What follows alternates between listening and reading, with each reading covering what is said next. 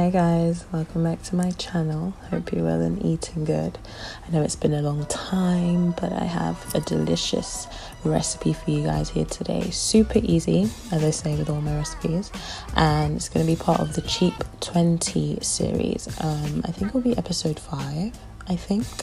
Um, it's using leftover vegetables in the fridge, some sausage, Polish sausage that I like to use sometimes. It's easy, so let's get in. So, first, you want to salt some boiling water. Always salt your pasta water, it doesn't matter what anyone says, put salt in it and you do not need oil okay? All you the only thing with pasta is you have to stir it occasionally and make sure the water is boiling and you'll have great pasta.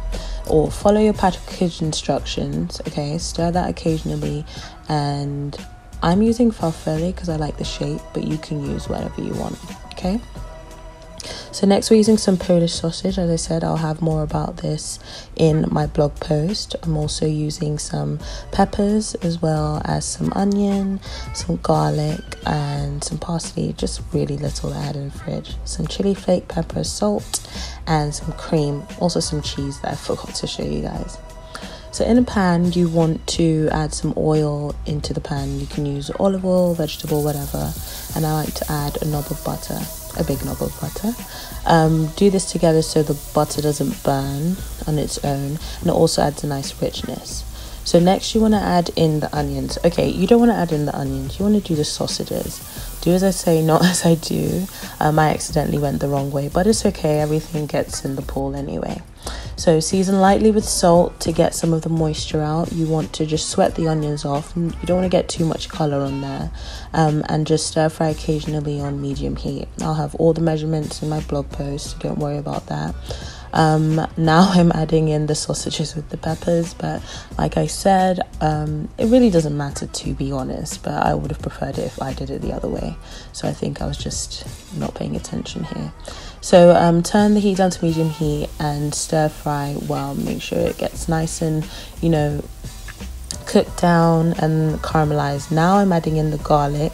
Um, I didn't add it earlier because I didn't want it to burn. I really like garlic, so um, I put about three cloves. You can put a clove, it's up to you. Everything here is optional. You can even make this vegetarian by adding in mushrooms, whatever you like. Okay, so stir fry that, and then by now your pasta should be about almost cooked. You want to save some pasta water in case we need to thin out our sauce, and then you're going to drain your pasta.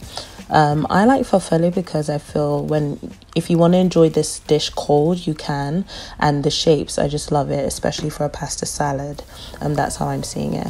So you add your pasta into the um, mixture, which should be nice and softened. Now the sausage should have a little bit of color on it. Really simple, guys. There's not much to it. Um, I feel like as like this dish just takes as long as the pasta takes.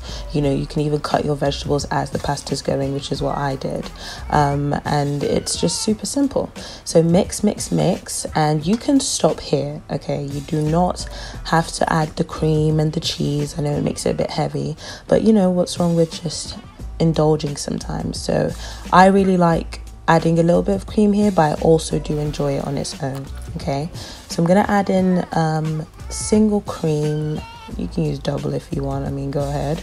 Uh, and then also some cheese. I think this was Parmesan cheese, actually. Yeah, I think it was Parmesan cheese. Sorry, because I'm sure I had a couple cheese in the house and I didn't know which one to use. I didn't want to mix it.